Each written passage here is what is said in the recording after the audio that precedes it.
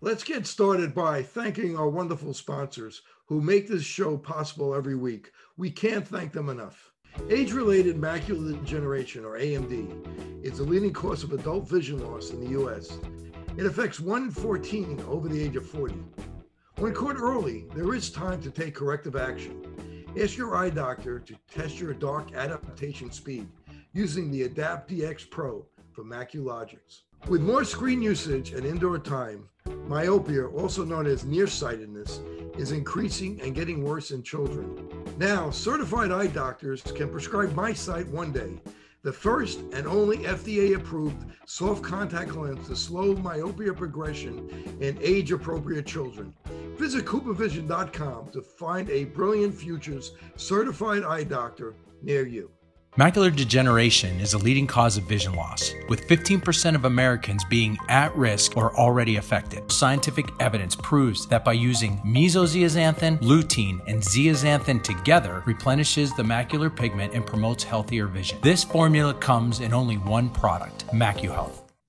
Hello and welcome to the Open Your Eyes podcast. I'm Dr. Kerry Gelb, the host of the documentary Open Your Eyes. Please visit the film's website at openyoureyes2020.com, featuring interviews with more than 50 optometrists from around the country sharing information on eye care and eye disease. If you're new here, and you like our interviews, press like, subscribe, share, and hit the bell to get notifications of great new interviews. Also, please leave comments. Macular degeneration, or AMD, is a leading cause of blindness in the US over the age of 55. More people have AMD than breast and prostate cancer, Alzheimer's, and Parkinson's disease. Finding patients at risk of this blinding disease, then implementing proper diet, supplementation, and lifestyle changes has shown to slow or possibly halt the progression of this blinding disease. Today's guest, Johnstown, Pennsylvania based optometrist, Dr. Greg Caldwell is a giant in the science of advanced technology to help in the early diagnosis and prevention of retinal disease. Dr. Caldwell lectures both nationally and internationally. Thank you for joining me today, Dr. Caldwell. Well, truly a pleasure to be here. And uh, I might have to take you on the road with me. The word giant, I'm not sure so much about that, but uh, thank you for the nice accolade there, Kerry. Well, I appreciate that. And it's great that really is great to have you. You're one of my favorite lecturers. I really am on the edge of my seat when you're speaking. So I want to start off with when I went to optometry school, we use an ophthalmoscope and we could see about 100 microns. If we saw a drusen, we would intervene. As the years have gone on and rapidly of late, technology has really advanced. And now we could see down to 10 microns, soon to be one micron with some technology. But the recommendations, our recommendations in a lot of in medicine, a lot of it is cookbook, and the recommendations don't catch up to the new technology. So, do we have to wait till we see a lot of drusen or a lot of disease before we make a recommendation for prevention? Same with like diabetes, where we'll see now we could see with OCT angiography, and we're going to talk about that capillary dropout before there's any bleeding. Are we waiting too long to make recommendations to our patients? Yeah, that's a great, great observation. And and I've been from the podium, you know, I'll say that, you know, we were taught those macro changes, right? We were talked about, you know, like when you mentioned diabetic retinopathy, cotton wool spots, dot and blot hemorrhages. Those are the macro changes and things of with technology now, advances in technology allow us to see these micro changes getting back to your topic on macular degeneration, you know, if we're waiting for drusen to occur, um, I think we're really missing the boat on this. And you mentioned, you know, 10 microns, you know, with spectral domain and some of these OCT instruments, we're getting down to, you know, five to six microns of resolution. And then, you know, with staying with, you know, uh, macular degeneration, you have OCTA angiography. We have that in the practice. And then on top of it, you have dark adaptation, uh, which is an instrument. There's only one company out there. So MacuLogix has that with dark adaptation. And that's moving into functional testing where, you know, where cholesterol is building up into the, into Bruch's membrane, where we can't even see that with that, you know, five to six microns of resolution. So technology is definitely uh, uh, outpacing, I guess, some of the diagnosing or some of the traditional macro changes that we have to wait for. I remember being taught, like, oh, patient 65, they have a family history of macular degeneration. Oh, you don't have to worry about that because the drusen don't show up till 65. Well, that's kind of like the tip of the iceberg. You know, we're we're missing the whole the early diagnosis part. So uh, uh, definitely technology is out there uh, is outpacing maybe some of our thinking. So what exactly is macular degeneration and what are drusen that we see inside the retina that are early signs of macular degeneration? Yeah, yeah, great question. So, you know, the the macula is the part of the eye that helps us to get that detailed vision. So, you know, I tell the patient that's what, you know, tells the E from the F, the O from the G, you know, it's a small percentage of the retina, but it's a huge part of the retina because that's what allows us whenever, you know, I'm looking straight ahead and trying to get detailed vision and my side vision doesn't have that detailed vision. That macula, it just as the word, you know, says it starts to, to degenerate or break down or not function. Um, so it's the center part of the retina. It's about 5.5 millimeters in size. And through inflammation, through byproducts, through metabolism, uh, just garbage builds up. And that's what drusen are nothing more than garbage. And then your body has, in some cases, an, infl- an inflammatory reaction, an immune reaction to try to get rid of that. Body's great at sometimes smart, but then it starts to break down and creates that degeneration, which then the retina, I think, uh, you know, we talked about that macula. It's got two supplies. It's a neurological supply and a blood vessel supply, and it just starts to break down and not function, and we just don't see well anymore uh, in that central vision, which is critical for reading. Uh, so um, you know, it's just it's a it's a terrible disease. I hate to see it with our patients, and it certainly outpaces diabetes. You brought up diabetes, and diabetes is a huge issue, but macular degeneration is even bigger.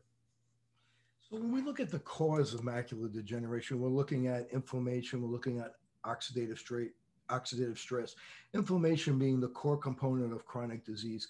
Can you explain the difference between inflammation, oxidative stress, and how it causes uh, degeneration of the macula? Yeah, I mean, uh, it's a yeah, it's pretty scientific. I'll try and do my best, uh, uh kind of layman type of. I was speaking from the podium.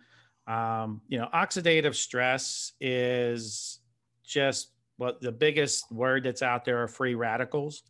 Free radicals form, and basically that's just an unhappy uh, electron, or it's an unhappy cell that's missing an electron. And that's that's when they're unhappy, they're just constantly looking to try and the body likes to be in balance. So it will look for anything that's out there and if our body is not, you know, and it just comes down to fruits and vegetables and diet, that's what we need to balance out those free radicals if we're not eating properly or our food sources aren't what they used to be because things are growing so fast. Um, the electrons need to balance out. It goes for cells, you know, the cells of the body. And in, in this case, macular degeneration, maybe a photoreceptor cell. And the issue with the retina, it's very metabolically active, right? It's constantly capturing light, sending images back to our brain, and it creates this, you know, a, a big pool of free radicals. And then the photoreceptors are now being damaged to balance out that imbalance because we're not having those fruits and vegetables that are there. And that's kind of that oxidative stress inflammation is just kicking in that a whole inflammatory pathway that's out there and you're hearing about cytokine release that's that that's that's popular right now. But you get inflammation and it's kind of more of a negative feedback loop once you get to kind of a second stage. Oxidative stress leads to oxidative damage and that's the damage part is more the in, in inflammation side of it. And just starts breaking down retinal and retinal vessels retinal structures and loss of vision now, the mitochondria is important. Talk about how macular degeneration is a breakdown of mitochondria. Yeah, um, kind of one of my uh, one of my uh, soapboxes right now. When looking at the OCT, um, which is an instrument that gets down to microns. You know, there's two types of OCTs right now. I call it the B scan OCT. That's the one that most optometrists have out there. And you're looking at the slices of the retina, almost kind of like layers uh, of the earth. And you have the RPE, which hyperfluoresces. And right above it, this name has changed multiple times yeah, they used to call it the inner and outer uh, segments at the photoreceptor integrity line. It's now the ellipsoid zone. So I was doing some digging, you know, teaching about, you know, different structures of the retina, why they hyperfluoresce and hypo. And that ellipsoid zone, which hyperfluoresces, believe it or not, is nothing more than mitochondria, the way they line up. So when you're looking at an OCT and you see the RPE right above it, there's a little dark space and the next line, that photoreceptor integrity line, that outer and inner segment, that ellipsoid zone. I don't like calling it that. When I get into my lectures, I'll explain it. And then the, re- the rest of the lecture, I call it the mitochondria zone. And the mitochondria zone is that we all went to school and even in basic biology, high school biology, my son's a senior and uh, he's talking about biology and they're talking about the mitochondria and those are the powerhouses. And you see those powerhouses you see that that ellipsoid zone or what i'm calling that mitochondria line that whole line you see it starting to fade in an oct though that's not a good sign even on a good strong signal. And people oh man that's that's you know that's a bad scan. It's not a bad scan. You need to interpret that as being a latent that's your oxidative stress then when they disappear, that's your oxidative damage. So those mitochondria, you're able to visual, visually see them on an OCT. That ellipsoid zone is what that is. So that's very important in interpretation. And over the last probably six to 12 months, it's kind of been like my soapbox. Quit calling it the ellipsoid zone. It's it's the mitochondria line. So so we're going to talk about treatment that toward the end, but what kind of supplements can help support the mitochondria? Yeah. So uh, another soapbox that that I'm that I'm getting on is you know carotenoids are extremely important, and we need to you know be talking about lutein and zeaxanthin. Um, but that's actually if you if you look at an OCT and if you look at all the companies that go out and promote, you know, lutein, zeaxanthin, and there's a company that does mesozeaxanthin. If you look at their brochures, and see where that is, that's in the inner retina. So, you know, there's the inner retina, there's the outer retina, and then you got, you know, the choroid. And the inner retina and the outer retina can separate pretty easily on, on uh, based on anatomy. And that's why you'll see lamellar holes. That lutein and zeaxanthin, mesozeaxanthin is at the inner retina. And that's very important. You need those to capture that blue light. It acts as a sunscreen. It helps sequester those free radicals. But my soapbox that I get on, again, that's my other soapbox during a lecture, is don't we care about the outer retina? The outer retina where that cholesterol is building up, where we just talked about uh, that oxidative stress with that mitochondria. And down in that outer retina, resveratrol, you hear about that in wine. It's a natural antioxidant, or it's a it's an antioxidant, but it's a natural uh, anti VEGF. It also supports mitochondria. On top of that, there's another uh, polyphenol or flavonoid, quercetin, and then on top of it, catechins. That's what's in green tea. So those three there, those polyphenols, um, those flavonoids are in the outer retina. And then the inner retina is lutein and zeaxanthin, the highest concentration. And our body allows that to happen because there's some protein binding there. And that's important to have those carotenoids in that inner retina. But I, I think of the photoreceptor, and we talked about those mitochondria. I always like to use analogies. And a few years ago, I was at Seco and I went to the uh, to the aquarium, and there I learned about brackish water. I'm a guy from Pennsylvania. So I'm not by salt water. I'm not by, you know, you know, I'm by, you know, uh, normal water, salt free water. But brackish water is where, you know, salt water and, and clear water go in together and it becomes brackish water. And I kind of think of that mitochondria as that brackish zone. When you look at OCT angiography, you got blood flow above, you got blood flow below. there should be no blood flow in the photoreceptors. It needs to get nutrients from below and above. So I really have been a proponent of, you know, especially in the patients that are early or subclinical macular degeneration that you can pick up maybe with dark adaptation, treating them with kind of more of a full supplement rather, again, it's important to have, you know, the carotenoids, but getting something that has like a, uh, a resveratrol, quercetin, or uh, or and catechins, or all three of those in it. You know, there was a study done not long ago where they took patients and they were examined by I think retina specialists, and and then they took photographs and they showed that about 25% of the patients they would miss early changes of macular degeneration. Can you explain a little bit about that study? Yeah, I think I'm familiar with the study, and and it, uh, I believe that study had both uh, optometrist and ophthalmologist in it.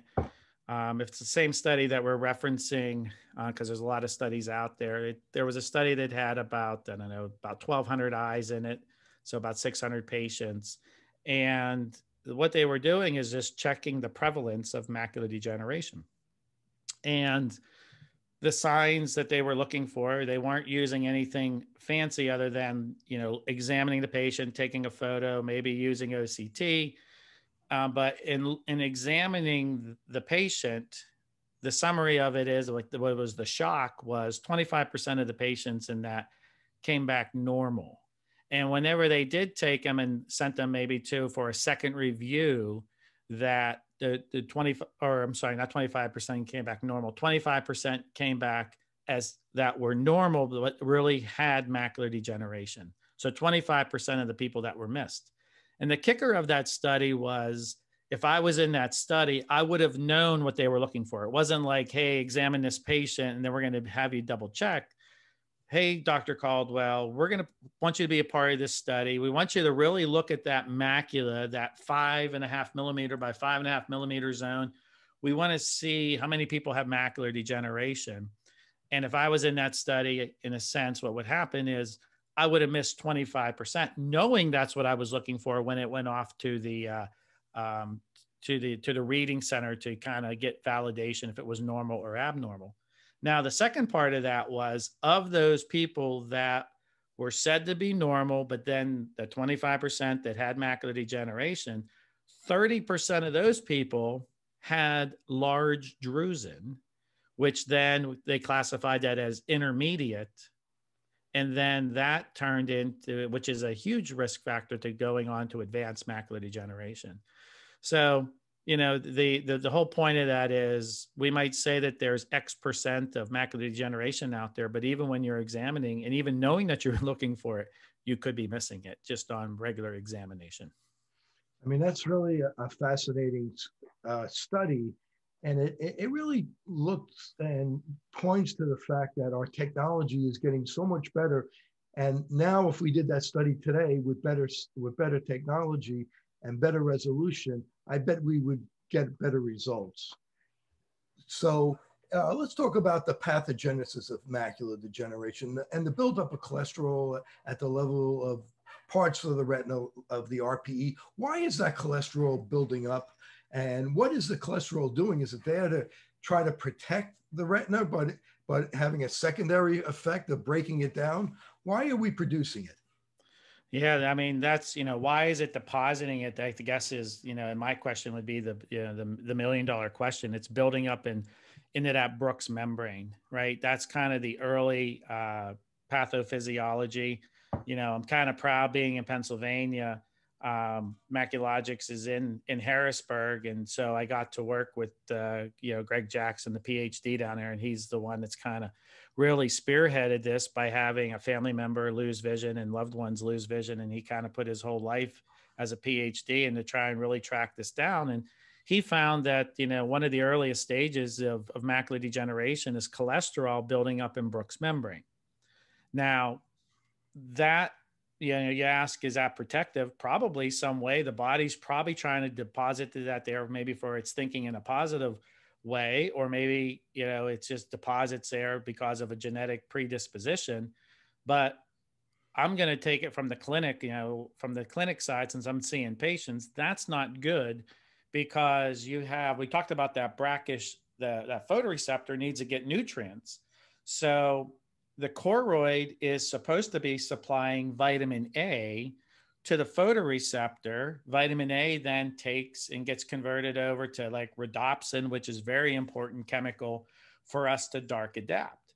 So what happens is that vitamin A can't get through that oil slick and gets can't get there. So that that's why one of the earliest uh, ways to diagnose macular degeneration is people with having dark adaptation because that vitamin A can't get through that oil slick. So you got the choriocapillaris, you got Bruch's membrane, you got the photoreceptor, the RPE, and then photoreceptor. That photoreceptor needs that vitamin A to be able to dark adapt.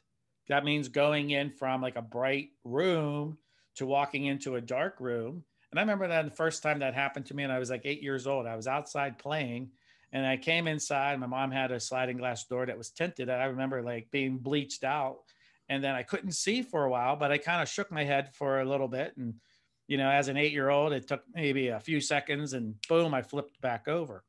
But in, in someone maybe 50 and older, that could be maybe a, a first sign that they're having macular degeneration. And with the statistics that are out there, you know, we talk about sensitivity and specificity. Sensitivity, sensitivity having the disease, it's about an, when you when you test on a device, not just by walking in from an outside to inside, but if you test on a device, it has a 91% sensitivity of saying that's you know macular degeneration if you're having that. Um, so that cholesterol buildup out there just starts blocking that vitamin A and doesn't allow that rhodopsin to convert over. So a dark adaptation could actually pick up before drusen when that cholesterol starts building up. Yeah, absolutely. Um, I literally just did a talk last night down in in Raleigh, uh, uh, North Carolina, and one of the, you know, you know, trying to to bring some type of awareness to this disease. We don't have to wait to 65. And you know, one of the comments that I made to the group because they were just kind of like staring at me for a little bit, I said, "Look, if if you don't want to consider doing dark adaptation, then in our glaucoma patients, just wait for the visual, wait for that optic nerve to become notched."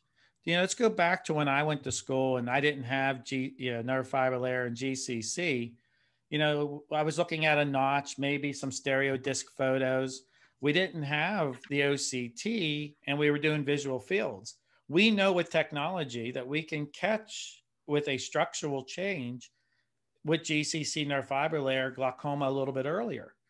And when you're going with macular degeneration, if you're just waiting for that drusen, you know, you're really missing the boat. That would be like kind of waiting for the notch to appear on the optic nerve before you know oh, okay now we're going to treat you. You can catch it a little bit earlier. You can catch macular degeneration a lot earlier.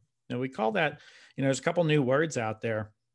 You know we call that kind of subclinical macular degeneration where that where that drusen's building up and then the oct angiography has brought us into a whole new technology and a new word of of non uh, occult non-exudative choroidal neovascular membrane Age related macular degeneration, or AMD, is the leading cause of adult vision loss in the U.S. It affects 1 in 14 over the age of 40. When caught early, there is time to take corrective action. Ask your eye doctor to test your dark adaptation speed using the Adapt DX Pro from MacuLogix. Vision Edge gives you less eye strain and reduced damage caused by blue light.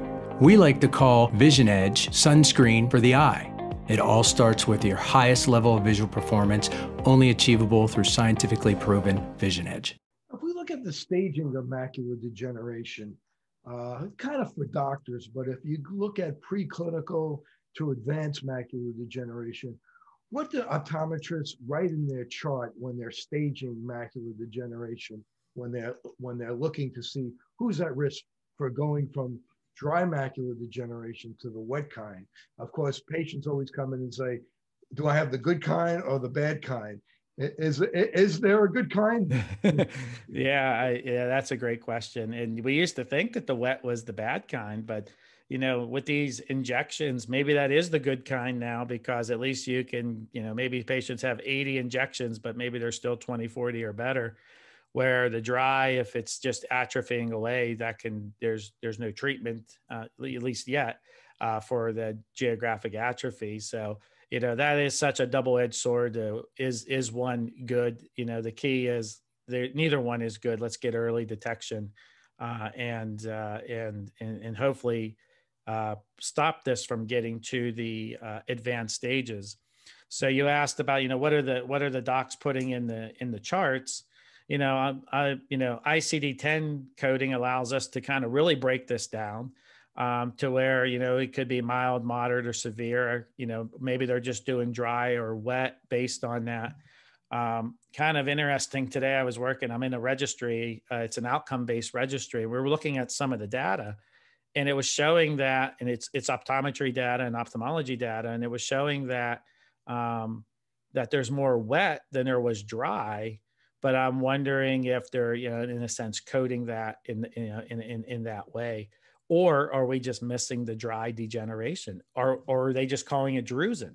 You know, I think that that's some of the issue is that that we were taught that you know, back in the day, well, you could have drusen, but if there's no pigmentary modeling, if there's no true damage, then why would you call it degeneration?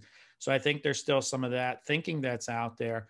Even had that question last night. If there's drusen in the retina and there's no vision loss or no structural damage, can you call it macular degeneration?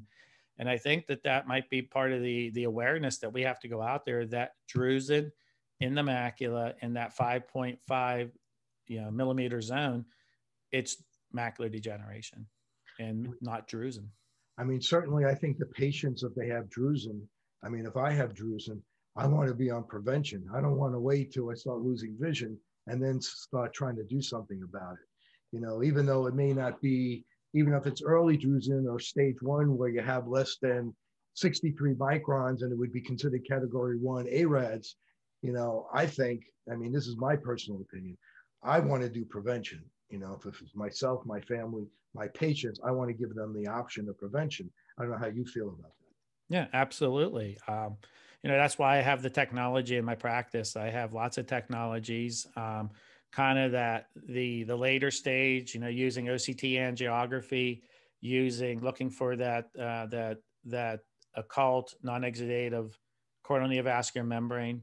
Um, I just started a really cool technology um, that is preferential hyperacuity perimetry, um, where you're able to send a device to the patient's house. And again, you're looking for that intermediate dry patient. They're using a mouse looking in, kind of, I hate to say it, but it's kind of an easy way to think about it. An Amsler grid on steroids, but it's nowhere close to an Amsler grid. It's it's this line that's bent, and it's again preferential hyperacuity perimetry looking for that early detection of choroidal neovascular membrane.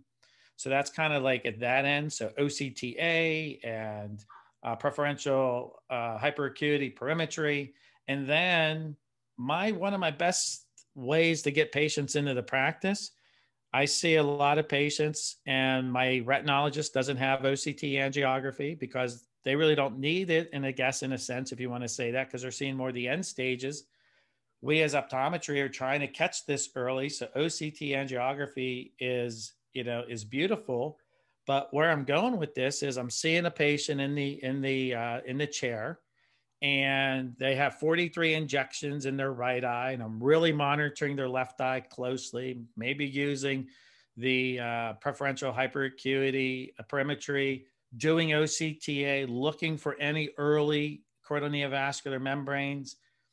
But what I like to do is just pause and when I'm doing that exam and turn around and say, Oh, it looks like you have someone with you. Oh, yeah, that's my son. That's my daughter.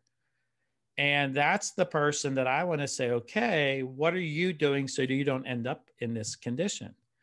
And they might look at it and go, you know, I nothing. Um, I'm told that it's a disease of of aging, and you know, usually they're closer to that 45 or 50. If mom's in the chair and they're 75 or 80, I'm like, you're prime.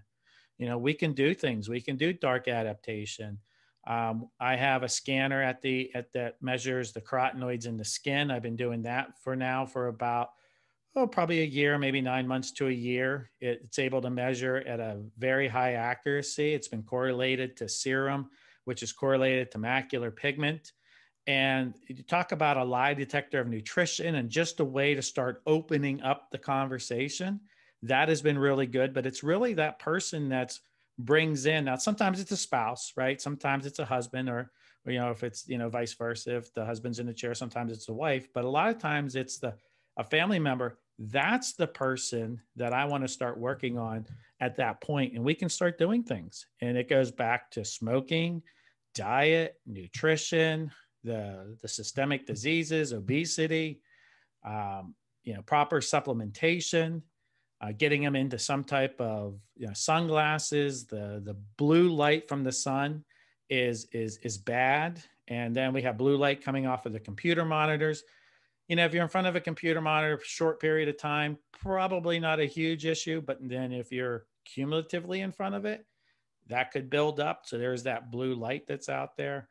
You know, and the other part, I guess, of of of treating macular degeneration would be if they did have some vision loss um, then you can get them a low vision exam. I think my low vision friends would be mad at me if I didn't bring that up as part of a treatment.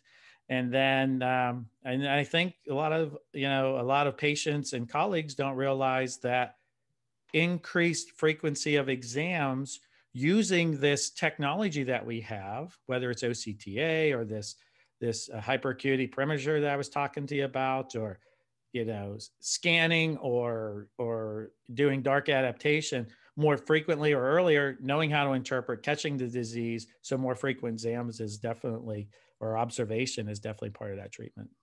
So let's talk about choroidal neovascularization. Before somebody gets wet macular degeneration, with OCTA, we could see these occult membranes. Talk about that and what happens when we find one.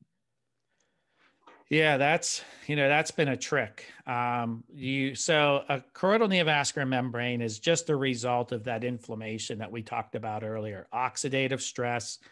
Um, we talked about inflammation, and really you're starting to get a breakdown in that RPE. So when I talk to the patients and I say to them, look, it's like getting cracks in your sidewalk. You have this layer of RPE, retinal pigmented epithelium in the back of the eye that starts to break down. And on an OCT, that's those hyper, hyper reflective columns that I try to teach that that's breaking down the RPE because that coherent light is able to get through.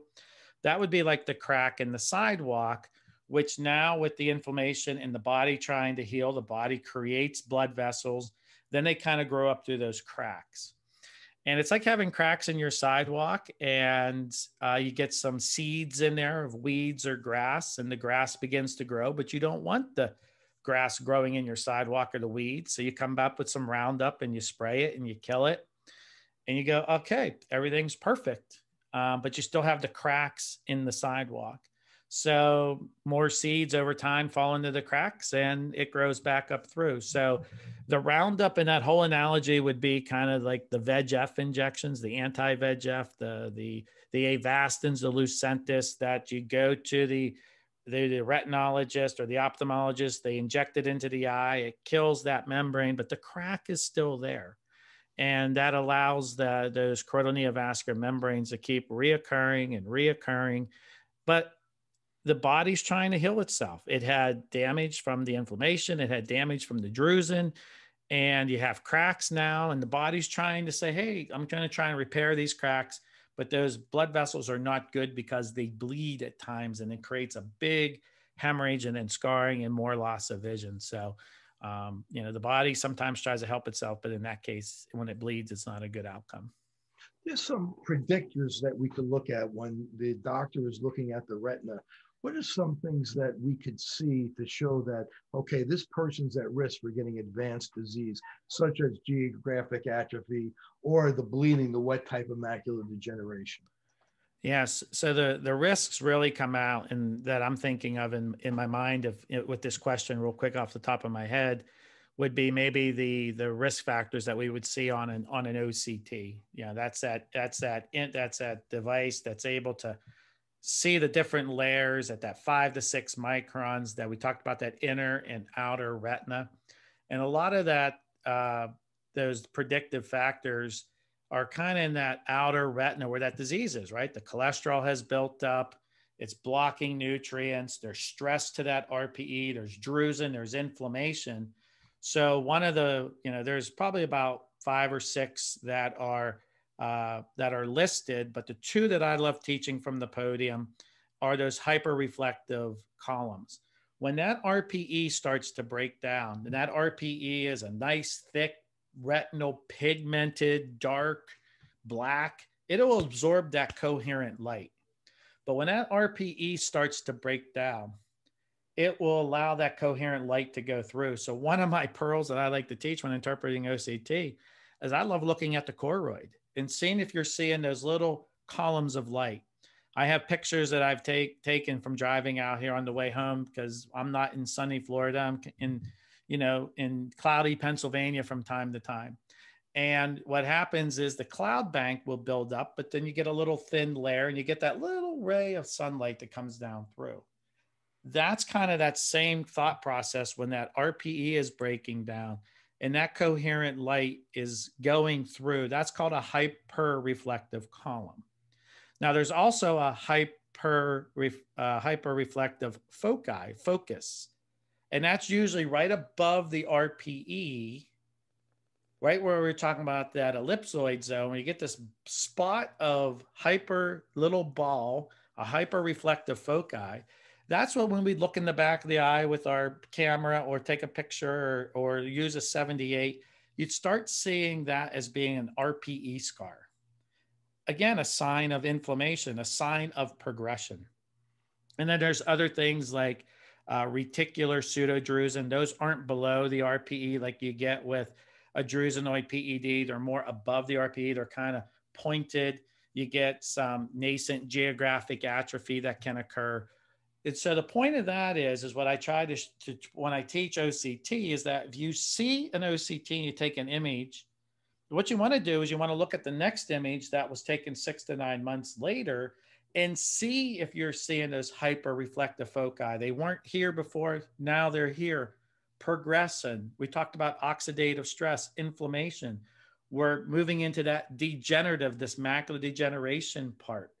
If you're seeing those no hyperreflective foci, you know, one or two years ago. Now they're forming. It's advancing. We need to be maybe trying to do something helping this patient out. You know, again, smoking is is one of those terrible ones. Easy to say to quit doing uh, or tell the patient, but man, what a bad habit to try and break. And then all the other things that we talked about, systemic diseases, proper supplementation, sunglasses, but they're progressing. And if you don't stop it, they're going to keep moving on and either have geographic atrophy and a, a lot of vision loss that nothing can be done, or they're going to get that choroidal neovascular membrane that we chatted about. Now, the patients sometimes have early symptoms of problems with night vision. Can you talk about the importance of that? Yeah, yeah, absolutely. And that's where we moved into that that that night vision. We used to blame it on cataracts. But cataracts mainly makes an issue with glare, right? Like you go outside at night and a car headlight comes, you have a cataract, it'll act like a, a lampshade on a on a lamp. It will cause the light to scatter and then you can't see real well. Well, that's more glare. When you go from a, a, a bright room and you walk into a dark room or you know uh, it has to have some light i guess you know walking into a, a cave you're not going to be able to see but you get what i'm saying going in from a bright outside to walking inside and you're really switching kind of in a sense photoreceptors you're going from cones maybe to rods and that's that whole part about the rod intercept and that vitamin a that we were talking about. When you start having a delay in that happening that is when that could be one of the earliest signs of macular degeneration. So I told you that story about when I was eight years old and I ran from outside. Uh, it was a bright sunny day, ran inside, closed the door. I was like, oh, I can't see for a second. And I waited and yeah, it wasn't that long. It might have just been 10 seconds. And I kind of flipped over. I dark adapted. I was able to now use that other photoreceptor someone that's in their 50s and if they can remember hey that happened to me when i was 50 but man it's taking a lot longer now for that to happen that could be one of the first signs of macular degeneration not cataracts, right? Not cataracts. But there's other diseases out there that could be part of that, right? Someone could have some liver issues. That's where vitamin A is stored and then released. But they would probably know if they're having some liver issues. And then there's a condition in the eye called retinitis pigmentosa. That might cause some dark adapting issues, but you're going to be able to look at that retina. It's going to have very specific findings, little these little black areas that are called bone spicules um, that are out there. So uh, uh, so, you know, dark adaptation uh, is pretty important in the early onset and diagnosis of macular degeneration. Let's talk about risk factors for macular degeneration. In back in the before 1900, there was almost no macular degeneration, and then our diet changed, and 63% of the food that we eat is processed food. And now macular degeneration, cancer, cardiovascular disease, diseases that were almost non-existent before 1900 are exploding. I think the first cardiologist was maybe in 1930 uh, because since our diet has changed and, and our lifestyle has changed. So, what are some important uh, risk factors to you? High glycemic foods, alcohol, blue light, uh, having the big belly, the metabolic syndrome. What do you find as some very important risk factors? Yeah, I mean, well, you you kind of hit them all. I'm not sure what what I can add to that list, but uh, you know, you have if you just listen to the name age-related macular degeneration, obviously age as we get older. You know, you hear about modifiable and non-modifiable risk factors. So obviously, you know, that's good thing. Age is happening. We're, we're, we're going from 50s into our 60s into our 70s. And obviously that is a risk factor, but that's good that we're getting older. And then our genes is another one. We can't really change our genes. But yeah, you're right. All these, you know, okay, blue light, you know, the sun, the sun has been around for all those decades that you were talking about in those centuries before. But what has really changed is our diets. You know, I was reading something the other day. Uh, I really have getting into nutrition, really based upon one I should uh, as a doc, but it was about three or four years ago where my patients were challenging me about, Doc, I need help with supplementation. And so I started jumping into that and reading about it. And I, am like, oh, Greg, I'm pretty well connected. I know people like Kerry and, you know, and all these other docs that are out there, Jeff Gerson and all these people that I can go and reference. And it was like unearthing a tree. Every time I would dig something up or thought I had something, I found it. And I'm like, oh my gosh, this isn't as easy as it as it's going to be. But you know, it comes down to Kerry, you hit it. Um, you know, you talked about processed foods. That's not good. You know, I heard someone say, you know, as soon as you start going up and down the aisles, you're going to get yourself into trouble. Stick to the outside where the fruits and vegetables are you know, in, in you can kind of think of a grocery store. Okay, there's maybe that bacon and hot dog section. Skip that. But then if you go over, there's kind of that seafood section, and then you're getting into you know your yogurts and and all the kind of the natural products. But as soon as you start going up and down those aisles, that could be getting pretty bad. And there's some good things in the aisles, but you're getting the point of staying away from those processed foods. You talked about being overweight you know one of the things that i didn't you know really realize until i connect the dots i love having those aha moments is you know f- you know fat cells are living organisms and they produce byproducts right? So and they need to live.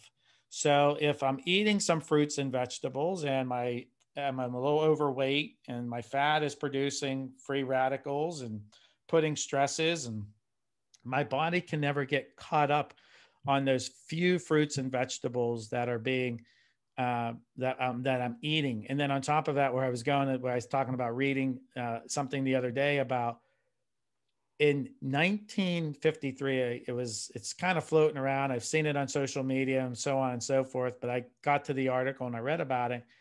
You know, it takes it takes 21 oranges today to make the same nutrient value from like 1953 and you know the food that we're getting you know the, these chemicals we keep talking about carotenoids and polyphenols and flavonoids. Those are those are chemicals that make like kale green and marigolds you know the beautiful colors. It's what makes the world beautiful all these carotenoids and their fat loving substances. And our body cannot produce them. I think that's the key that we I really want to point out now is our body can't produce them and we have to take them in through fruits and vegetables. And then on top of it, you know, the fruits and vegetables that are grown nowadays, they're grown so fast. I was speaking to, you know, one of the uh, scientists that make nutraceuticals, and he just said to me, Hey, Greg, you want to get two cups of spinach and eat them. Two are from Canada, two are from Scottsdale, Arizona. Which one do you think you'd want to eat? I'm like, I don't know. Um, he's like, well, just pick one. And I said, okay, Canada. He's like, okay, you're right. And he goes, now why? I said, well, I didn't know to begin with. I just picked one. He just happened to pick Canada. And he was like, well, the, the, the, the days are shorter in Canada. So it's in the ground a little bit longer. And those chemicals are there to kind of protect the plant. So longer growing, a little bit more nutrient dense. And he goes, and then what happens? And I'm, you know, maybe Scottsdale produces. I'm not, don't want to get in trouble by saying Scottsdale doesn't produce high density uh, spinach. But the point that he was pointing out is that you can have two cups of spinach and it can be totally different. Just the way they're grown, fast, sourced, uh, and brought to market. So the foods just aren't as nutrient dense. So uh, that's one of the. I think we got into how the risk factors, and that was a long, drawn out way to to answer that. So. And how about alcohol? Yeah. Uh, alcohol is just another one of those stressors, you know, multiple free radicals, inflammation. Um, you know, er, yeah, it's it's like everything. Everything is moderation in life, right? So you just got to be moderate with it. So I'm not going to say don't ever drink alcohol, but it's certainly not good. It has a high caloric uh, uh, part of it, which leads to the obesity. Um, the alcohol can then break down cells. Um, you know, so I guess, you know, if you're going to maybe drink something, maybe drink that glass of wine, right? Because it has resveratrol in it, but you don't want to drink too much to try and get all your levels of resveratrol. And we know that alcohol de- depletes zinc and thiamine and vitamin A. And these are things that are very important for not only the body, but for the eye. Yeah, That's why alcohol yeah. de- increases the risk of, of macular degeneration. And you talked about spinach before, and it reminds me of a study where 1950, compared today, you need 50, like 53 bowls of spinach for, for the same nutrients as one bowl of spinach in 1950. So it's really, uh, you know, it's a tangled web we weave, and you know, we have to really be mindful. Uh, are we getting the proper nutrition?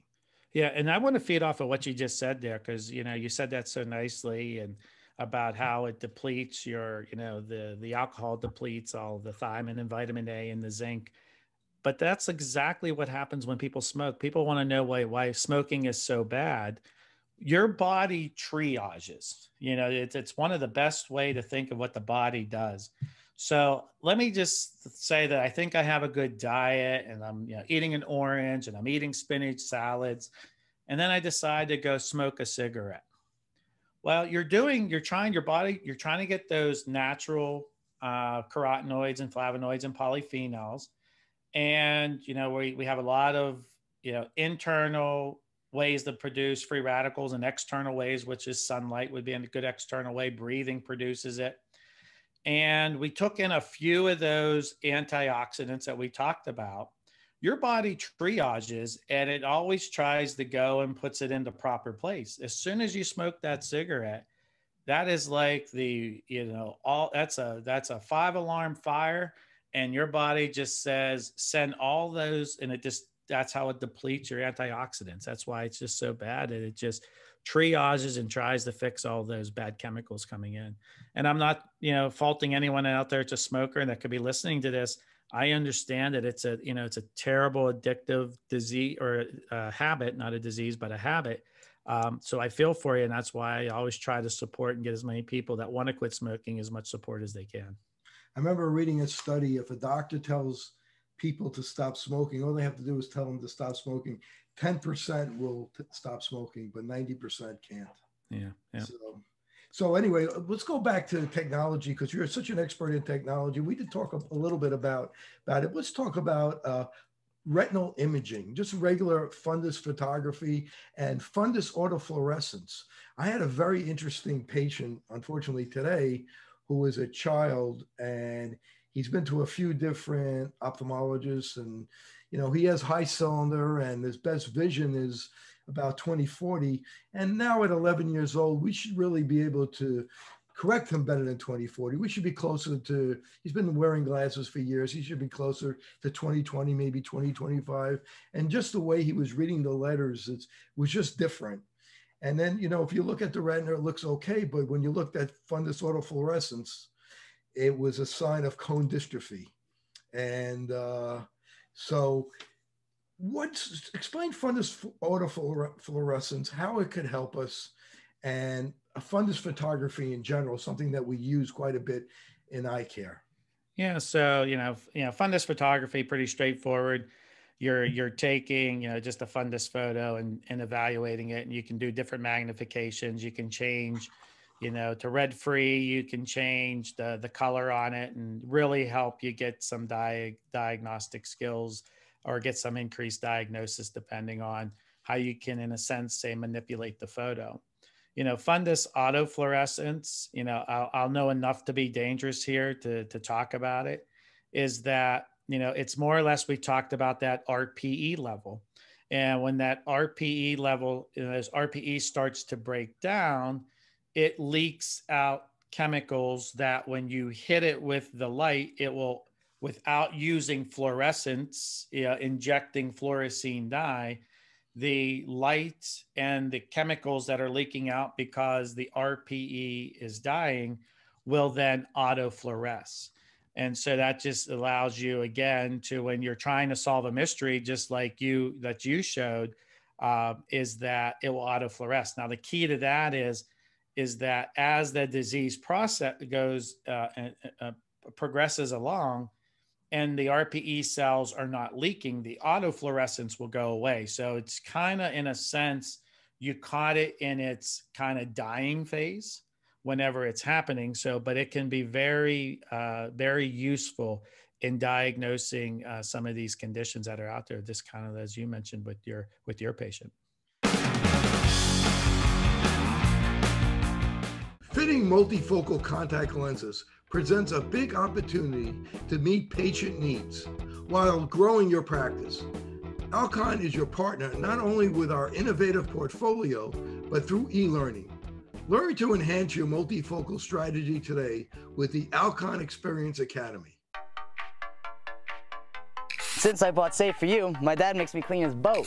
Es natural y es un buen producto. Every time I go back to school, my mom always makes sure that I have my Safe For You products. I bring extra, and my roommates certainly don't mind. It's a good thing I had Safe For You to clean up after this little guy. When my hands get dry, I like to wash them with Safe For You.